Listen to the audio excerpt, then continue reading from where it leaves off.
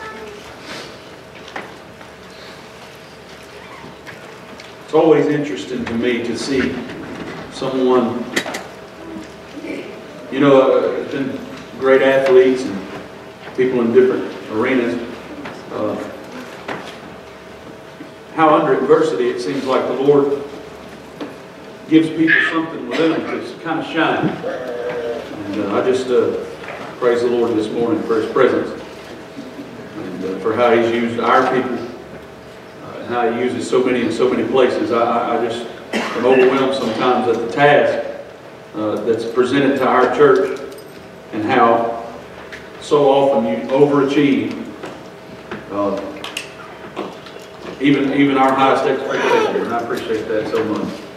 God's been good to us, and we give him glory for that. And praise the Lord for it. If you have your Bibles this morning, if you will, open to the first or the book rather of 1 Corinthians. The book of 1 Corinthians is where we'll be this morning. We're going to be in chapter 2, uh, but we will look at a few verses out of chapter 1. 1 Corinthians chapter 2, if you will, stand with us for the reading of God's Word from Bible. 1 Corinthians chapter 2. I want to encourage you to be back with us tonight. We are baptizing in the service tonight again, and we praise the Lord for that. Uh, and we will also be uh, continuing something we kind of stumbled into last Sunday night, uh, talking about the armor of God there in Ephesians chapter 6. You only missed the introduction if you weren't here last Sunday night. So you come tonight for the good stuff, okay?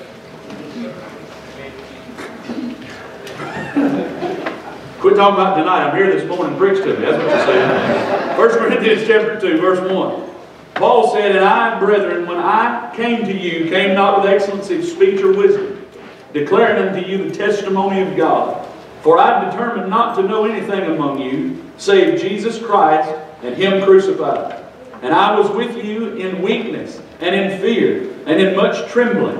And my speech and my preaching was not with enticing words of man's wisdom, but in demonstration of the Spirit and of power, that your faith should not stand in the wisdom of men, but in the power of God. Father, I ask you this morning to help us prepare our hearts.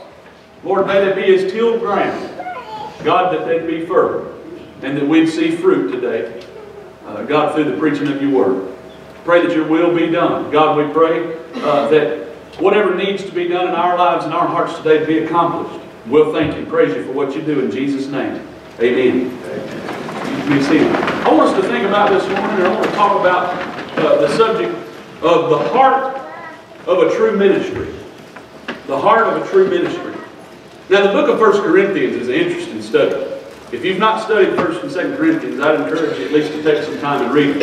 Uh, in 1 Corinthians, we just leap into this book. You can tell right out of the chute that Paul has to deal with the subject or the thought of contention among the people and discord.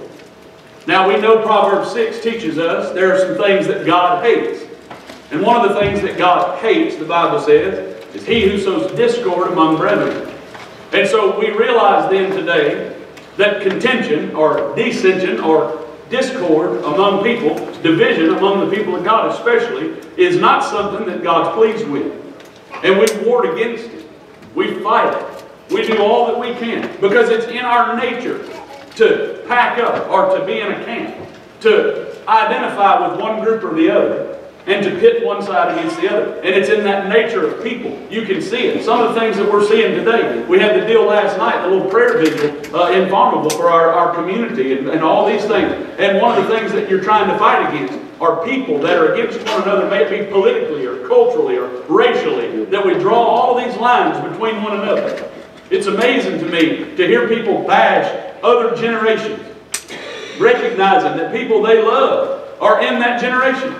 I can't stand to hear a group of young people talking about old people. I can't understand why we would talk about the generation that brought us here. I can't understand why an older generation would talk about young people.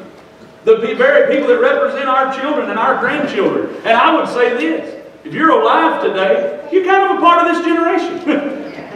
If you're alive today, you're kind of numbered among what's going on. When they remember what happened in 2016, 100 years from now, they're not going to care who represented what age group. They're going to say all of them idiots in 2016 made this big old mess, right?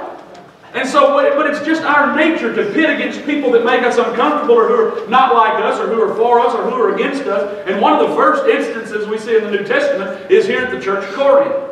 And Paul has to write to them. And the heart of his ministry, there were people who had divided up in camps, basically appealing to the one who had led them to the Lord, to those who had brought them to Christ and preached the gospel to them. Some with a man named Apollos, others with one named Cephas, some after Paul, and they were divided among the people. Each one had each particular person who they thought was the bell cow, if you will of, of, religious speaking or preaching. And so they adhered to only what they had said and what they had done, and it caused a great turmoil in the church. And so when Paul begins to write to them in verse, uh, we see in chapter 1, you see that right out of the chute, he's talking about uh, there's division and discord among the church. We did a series not long ago on Paul's begging of the church and all the times that Paul used the phrase, I beseech you, brethren. In 1 Corinthians 1.10 here, in the first verse as we lead into this, Paul says there in verse 10, I beseech you, brethren, by the name of the Lord Jesus Christ, that ye all speak the same thing, and that there be no divisions among you, but that you be perfectly joined together in the same mind, in the same judgment. He talks about their division in the church. Also in verse 17, Paul says this, For Christ sent me not to baptize, but to preach. Because many of them were talking about being baptized. Who baptized me? Baptized by Apollos, baptized by Cephas, baptized by Paul. I'm in this group, I'm in that group. I'm representing this generation, or this culture, or this side of the track, if you will. I'm from this group, that's the group I appeal to. Paul said, I didn't come to baptize. That's not what I was here for.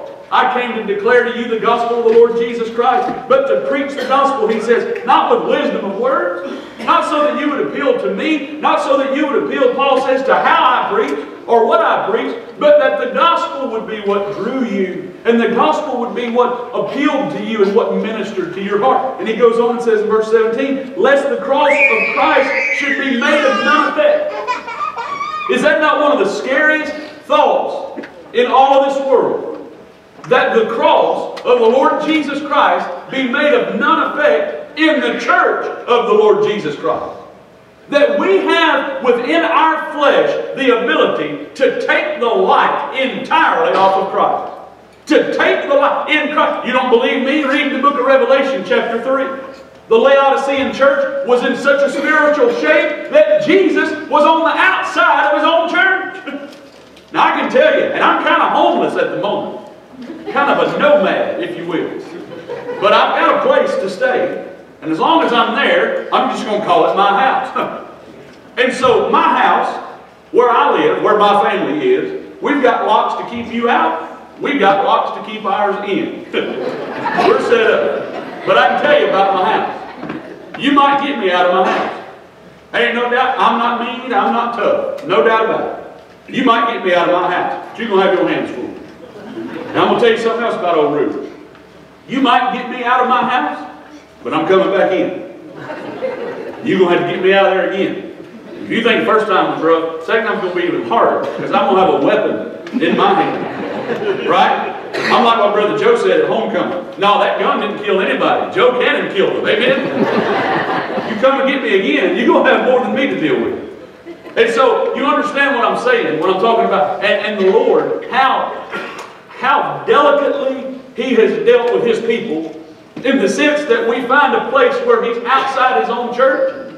And do you know what he's doing? Let me tell you what I'd do. I'd kick the door down and I'd come in and try to run you out.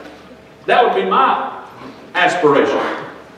Jesus, standing outside of his church, just stands at the door and knocks. And says, if any man, a corporate situation that's hinged on a individual condition. The whole church now has Jesus on the outside, but Jesus says if just one of them will hear my voice and open that door, then I'll come in and have fellowship with him. And when you realize the condition of that church, then you can see it's not so far-fetched for us to read Paul's exhortation to the Corinthians and understand that if they, in the early days of the church, could do it, and if in Laodicea, in the last stages of the church, they will do it, then surely we should believe today that we can be part of the vehicle that omits Christ and his cross from the church. In many religious groups already, they're dismissing singing, singing and songs about the cross and about the blood of the Lord Jesus. I'm happy to tell you, among all the songs that my children sing, one of their favorites is What Can Wash Away My Sin? Nothing but the blood of Jesus. And last night at the vigil, Brother Daniel Braddock stood up, and when he spoke, he made reference to the blood of Jesus. Jacob elbowed his mama and said, He just said the blood of Jesus. He was fired up about it. I want my kids to know the second part of that song. Oh, precious is the flow that washes white as snow. No other fount I know, nothing but the blood of Jesus. Can you see what Paul is saying? Considering the danger of taking the light off of Christ is we remove the ability or the effect, if you will, of the cross of Christ from the church. It is the cross that keeps us grounded. When you look, when I survey the glorious cross, you understand the great price that was paid for our soul. And if nothing can humble you and make you overlook some things, you should be able to look at the cross and see that in the big picture, our little temporal issues do not matter. But Christ died for those to saved. And it's our job to declare the gospel and bring them in. Division in the church, verse 10 and 17. You see what divided them. As he goes on now to verse 18, we're still in chapter 1, verse 18 to verse 25. But I want you to see in verse 18 there, chapter 1, that he makes this statement. For the preaching of the cross is to them that perish foolishness. But unto us which are saved, it's the power of God. The preaching of the cross is to them that perish foolishness. Those who have no desire to hear of Christ will find no glory in the cross. Those of us who have been saved by the cross of Christ can't take our eyes off of the reality that Jesus suffered and died in my place so that I could be saved from a sinner's hell, so I could be brought into fellowship with the Lord Himself, and so that I could have a home in heaven one day. Paul said that when we preach the cross to those that perish, it's foolishness to them. They don't want to hear about the cross. They want to be free to live however they choose. They want to be free to go and steal and lie and cheat and pervert the gospel and use it for their own benefit. But Paul said to us who are saved, the preaching of the cross is the power of God. And he says to us that it's not who preaches it, nor is it how they preach it, but it's what they preach, and it's the glorious gospel of Jesus Christ. The heart of a ministry is the gospel message. The heart of the ministry is that we take what God says and say it. That we take what a guy told me one time. Take what the Word says and say it. That's what a man told me. Be a lion in the pulpit, he said, and a lamb on the ground. You go on now in verse 18, you see in verse 24, he makes this statement. Paul says, But unto them which are called, both Jews and Greeks. All of a sudden, this dividing line that's been placed between these two, Jews and Greeks, blacks and whites, old ones, young ones, men and women, Americans, non-Americans, right? Whatever that line is that we believe that separates us from these people. Like the old song says, the ground is level, Calvary. And he says to us in verse 24, unto them that are called, both the Jew and the Greek, both of any sect or group you'd like to mention. You might not like this, but it's the truth. Amen? Amen? Of any sect or any group that's mentioned, he says in verse 24, that the gospel, Christ is the power of God and the wisdom of God. Now you go on and you see the danger of division. He says in verse 30, But of him are you in Christ Jesus, whom of God is made unto us wisdom and righteousness and sanctification and redemption, that according as it is written, He hath he that glorified, let him glory in the Lord. Now what he leads up to this statement with talking about is that God has chosen to take the foolish things of this world and confound the minds of great wisdom. One evidence as great as any that I can see is since 2001, we have been at war with a group of people that we've had a hard time identifying. They have no country, they have no creed. They hide behind the extreme acts of their religious culture. But the fact of the matter is, there is a group of people out there that has terrorized for 15 years the greatest military power in the history of the world. God can take the foolish, ignorant things of this world and break us if that's what it takes to bring our focus back to Christ. Amen. We can bow our chest out and fly our bombers and consider ourselves the strongest country that ever lived. But the power that we rest in today is not the power of the United States government or the political system or the power of the strongest military, whatever it was. If we survive as a nation, it will be solely on the power of God. Amen. And that is by the gospel of the Lord Jesus Christ. And the less of this we adhere to, the more destruction and chaos and terror we can expect in our own country, on our own soil. When we went to war in Iraq after 9-11, everybody said we can fight them there instead of here. But our media, for some reason, refuses to admit the fact that those very same attacks are taking place in our country. Those very same attacks are taking place in our country, on our soul, against civilians, and murdering our people in our country, and we're so blinded by our chaos and our political nonsense that we can't see it. That we're in a fight, and that we're in a war. And I'm going to tell you, church, if we're ever going to minister, we better minister now. If we're ever going to love somebody, we better love them now. If we're ever going to stand together as a church, we better stand together right now. 1 Corinthians chapter 2. There's your introduction. How excited are you? First thing I want you to see is Paul's angle in preaching. After Paul gives us chapter 1, in leading into chapter 2, the first thing that Paul says, and I. He's saying in reference to what I just said. In reference to chapter 1 and verse 31, according as it is written, He that glorieth, let him glory in the Lord. Paul says, in light of that, let me tell you about me. Paul said, I, brethren, when I came to you, I came not with excellency of speech. Paul's angle was not to entice with his words or his oratory skill. I didn't come to you with excellency of speech, he said. I came to you not with wisdom. I declared to you the testimony of God. You see, his point was not to be a shining star. His point was not to stand out. His point was not to be recognized or remembered. But his point was to deliver the message of Christ. His priority was the testimony of God. His priority was to deliver to them the message of hope, the message of faith. Here's the problem Paul is dead. He's dead. Rube's going to die. The next preacher's going to die. The next preacher's going to die.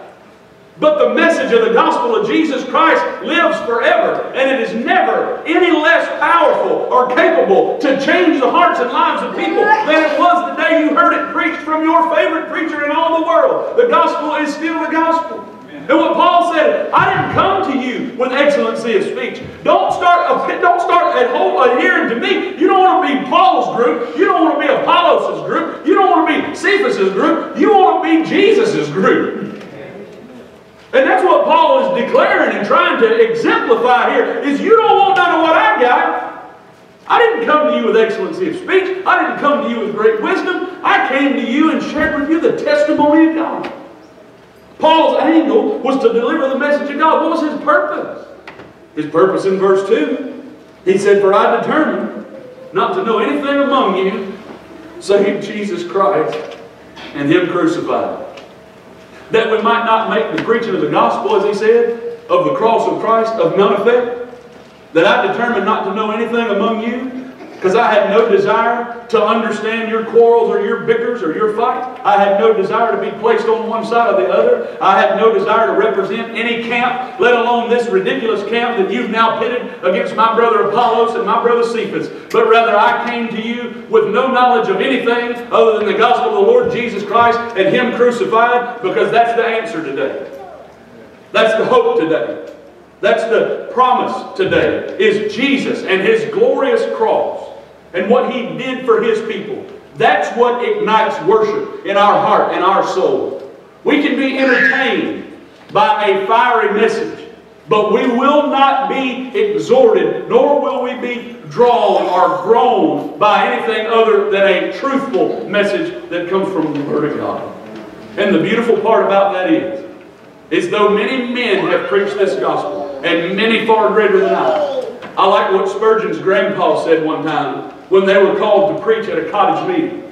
And in the cottage meeting, Spurgeon was not there yet. They called on his grandfather to preach. They had assigned a text from Matthew chapter 6, and as his grandfather began preaching the text, Spurgeon fights the blizzard, walks in the back door, just a young man. His granddaddy wipes his nose, wipes tears from his eyes, closes his Bible, tells Spurgeon where he left off, and tells that group of people to introduce his grandson. Though my grandson may preach the gospel far greater than I, he'll never preach a greater gospel than the one I've presented to you. And he sat down, and as the story went, Spurgeon got up and picked up from the verse he left off, and like my baby says, shook the corn. Amen? And brought the thunder. But the beauty of that is, is though the gospel can be preached better, there is no better gospel. And Paul said, even if an angel comes and preaches to you a gospel other than that which you've received, send it away, condemn it, do rid with it because it won't help you. It'll hurt you. It'll mess you up. Paul's angle was to deliver the message of Jesus Christ. The heart of a ministry, the heart of our church. We're not here to advertise Antioch Church. We're not here to advertise our good-looking preacher. Though I believe the Lord will forgive you for that. Amen. We're here today to fill our link in the chain of life to promote the cause and the gospel of the Lord Jesus Christ. Amen. Amen. That's our angle. Not only do you see Paul's angle, verse 1 and verse 2, in verse 3 and verse 4, I want you to check out Paul's attitude. Paul's attitude. You know what can ruin a service? A bad attitude. You know what can ruin a good? I could preach you 45 minutes of the best sermon you ever heard in your life and give you 30 seconds of bad attitude to ruin the whole thing. Wouldn't you agree? If Ross got up here with an old snide attitude and got up here talking about how everything was so bad and he was so upset and so stirred up about everything in the world and how it's too hot in here, it's too cold in here, y'all look sleepy. I preached revival one time and there's a dozen people there for the revival and the guy got up to lead the singing and he got down and there's one of them that leaned over the mic and talked like this. And every time he exhaled, you had you know what I mean? You don't know how to talk on the mic if I hear you breathing. Stop. He leaned over mic with a monotone. He said, I remember back when had revival this church, they'd have to open windows and people would sit outside because all the music were filled. And I thought, yeah, I bet you wouldn't leave singing. Good Lord. Bad attitude, kill it like that. I can take my wife on a date, right? And be sweet, have flowers, have her to this, this place that caters to Burger King, and bring her out her favorite Whopper. Right? Well, I'm her favorite Whopper. and uh, married couples, right or wrong, one 60 second bad attitude can ruin the whole night. Right. it's amazing. You throw you one little fit about something stupid and you ruin everything. Paul's attitude going into this thing is very interesting when you think about it. First thing in verse 3 because he admits some things. One of the things that I'm finding is very hard for men especially to admit is that we're scared. Because we've been taught we're not supposed to fear. We're not supposed to be scared, but we are. You're scared. The baddest man in this room is scared. He won't admit it, but he's scared.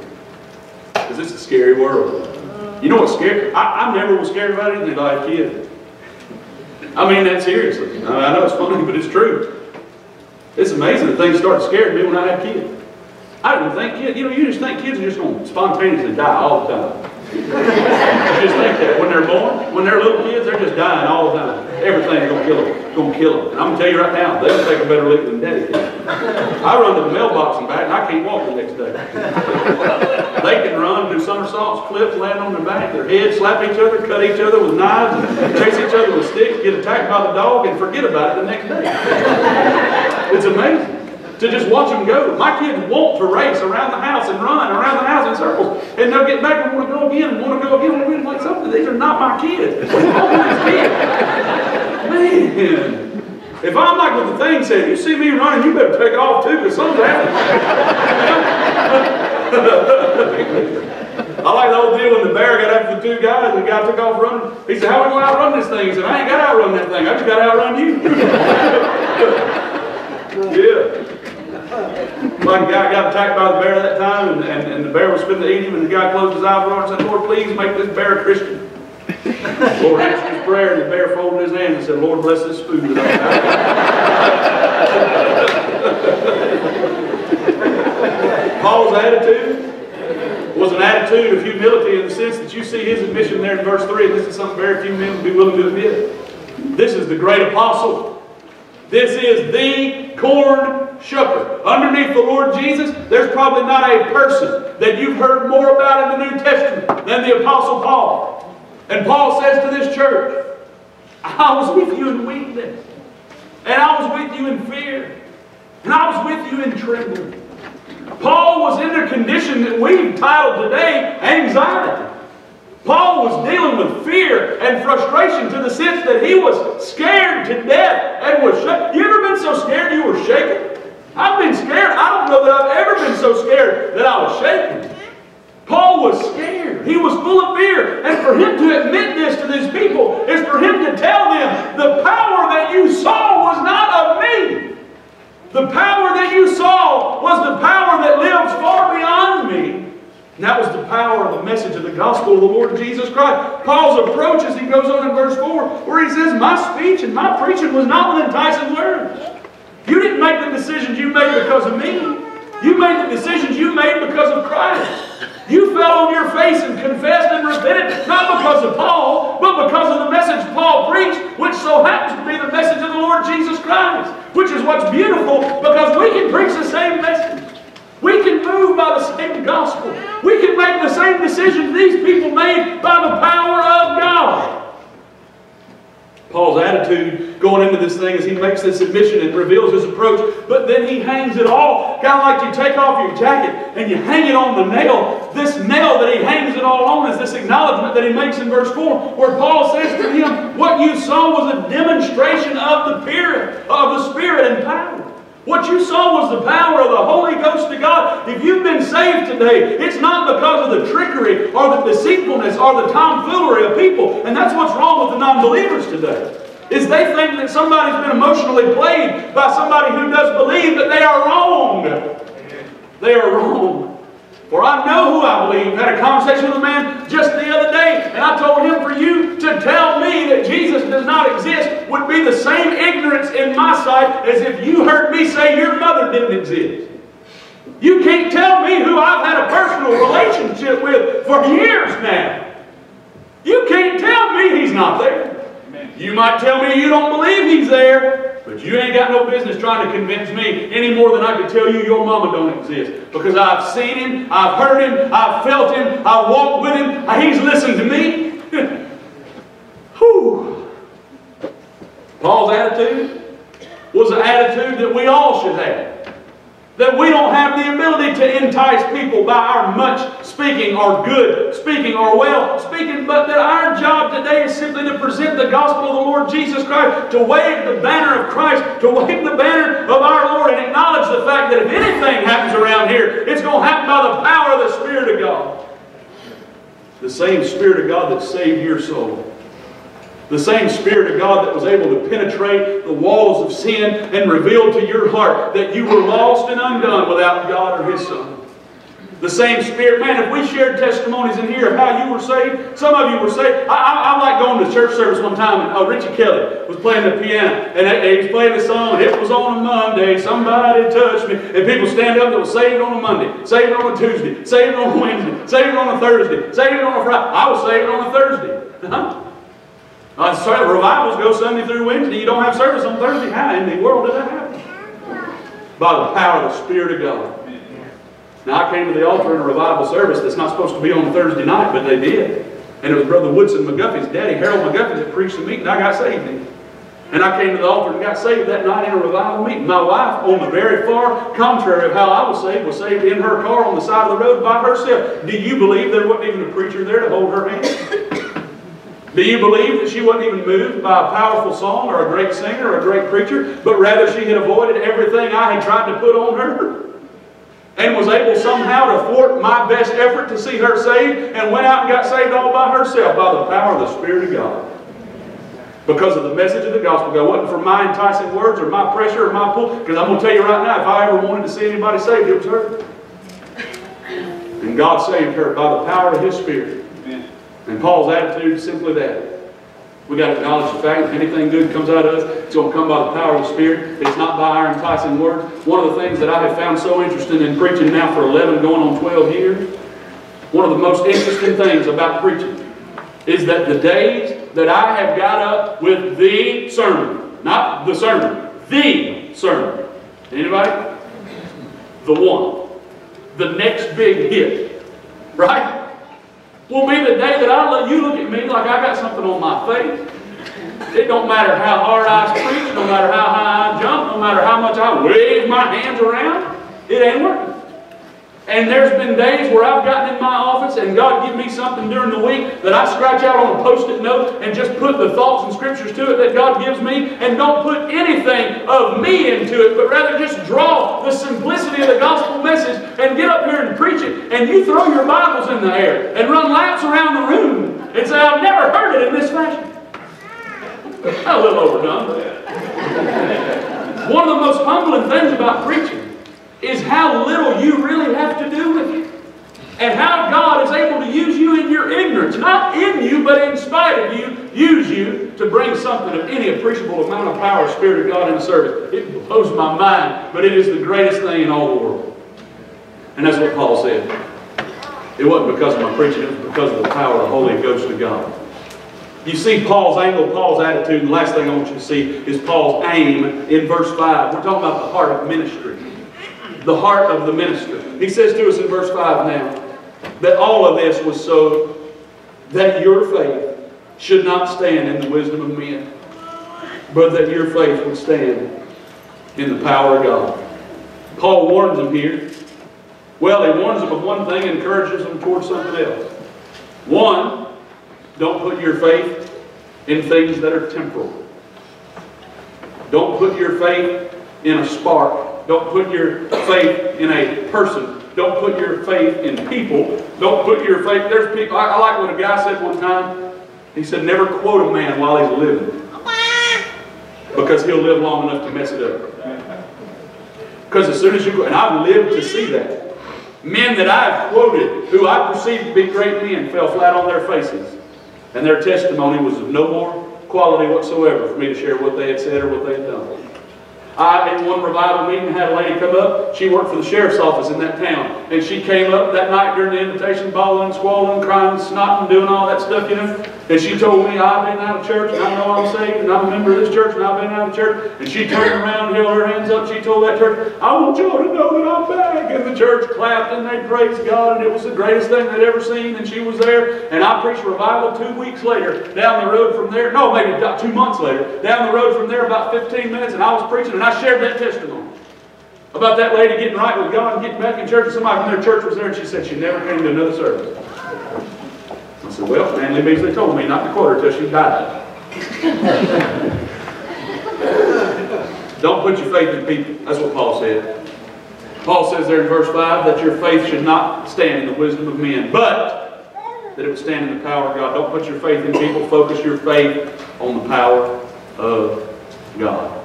That's the preaching of the cross. That's the power of God. If you ever need to wonder about the power of God, look back at the cross. You ever need to wonder if God's got enough power to save you from a situation, that cross. It's the, it is the foundation of everything we believe. The cross of the Lord Jesus Christ and the message of the cross of Calvary and the sacrificial death and the atoning blood of Christ and the regeneration of lost, dead, unregenerate man is the picture of the power of God. And I tell you, if God can reach into a dead, lifeless, unregenerate, hell-bound, hell-deserving, sin-stricken soul and bring life and bring the presence of the Spirit of God, turn it from bad to good, from dead to life, from darkness to light, then there's not one issue, not one problem, not one pain, not one thing that our God cannot do. Amen. And that's the heart of a ministry. Is that we go out of here not by the strength or the power of man, but in the power of God. Because I don't have to defend myself when I stand in the power of God.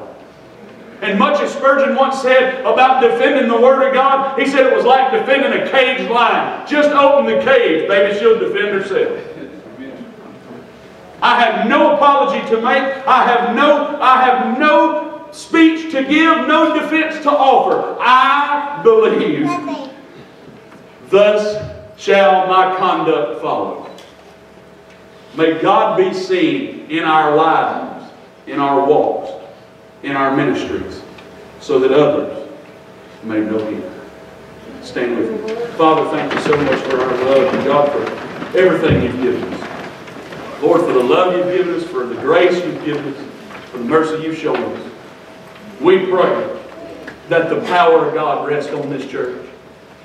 That the power of God that brought forth the miracle of the cross of Calvary and the salvation of sinners, God, be the power in which we invest.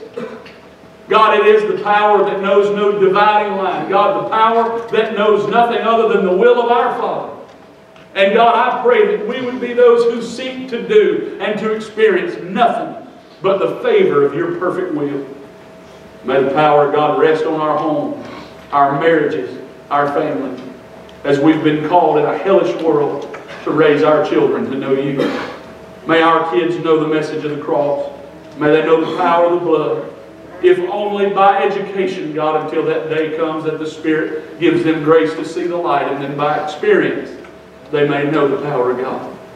Give us the grace as a church to stand on your word, to believe it, to preach it, to obey it, to apply it to everything that we do. May it be the foundation and the root of our very existence for your glory. In Jesus' name, amen. amen. I don't know how many of you today would say that you genuinely desire to see a renewal or a revival even of the power of God. But I will say to you, before we'll ever see what we can see in our churches, we're going to have to see it in our homes, we're going to have to see it in our families. We're going to have to see men and women committed beyond this building to the power of God in their lives and on their lives. God can save your marriage. God can give you grace to raise your kids to know Christ. But you're going to have to surrender your life, your agenda, to Him. And if you, my friend, cannot look to the cross of Christ, and as Paul said, in light of the mercy of God, I beseech you, brethren, to present yourself to Him. You can't look to the cross and find enough motivation to do what He's called you to do, I would have a hard time believing that you'd ever experience the power of the gospel of Jesus Christ. Be saved today if you've not been saved. Come today and surrender your life to Him. Let's do what Christ wants us to do. If not us, who? If not here, where? If not now, when? Let's do as God would have us to as we offer this invitation. Brother Rob.